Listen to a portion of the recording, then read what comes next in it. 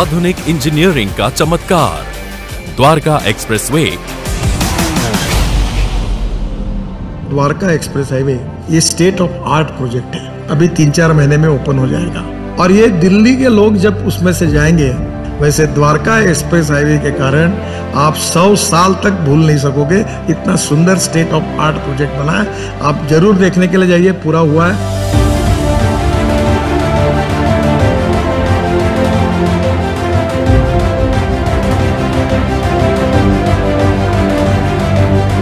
भारत के प्रधानमंत्री माननीय नरेंद्र मोदी जी के नेतृत्व में दिल्ली को हरियाणा से जोड़ने वाला द्वारका एक्सप्रेसवे देश का पहला एलिवेटेड एक्सप्रेसवे है, जो कई मायनों में खास है।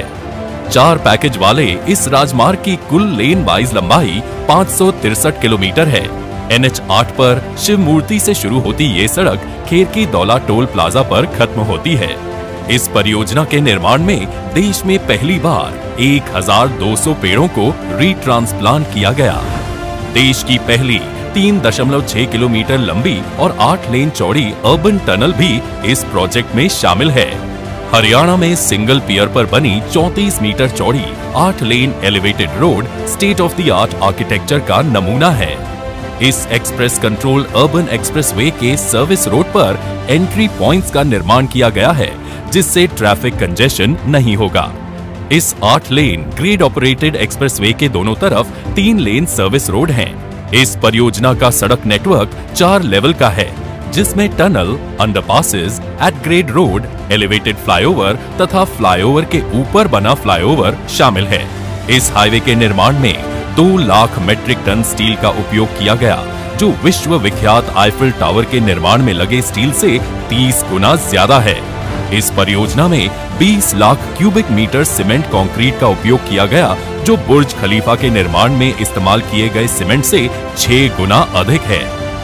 ये एक्सप्रेसवे अत्याधुनिक इंटेलिजेंट ट्रांसपोर्टेशन सिस्टम से लैस है।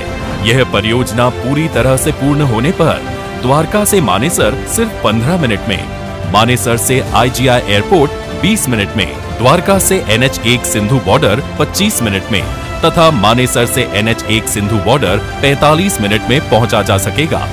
पूर्ण होने पर यह सड़क द्वारका के सेक्टर 25 के इंटरनेशनल कन्वेंशन सेंटर की कनेक्टिविटी को मजबूती प्रदान करेगा तथा आईजीआई एयरपोर्ट तक यात्रा के लिए नया विकल्प देगा। इस एक्सप्रेसवे से दिल्ली एनसीआर में प्रदूषण कम होगा।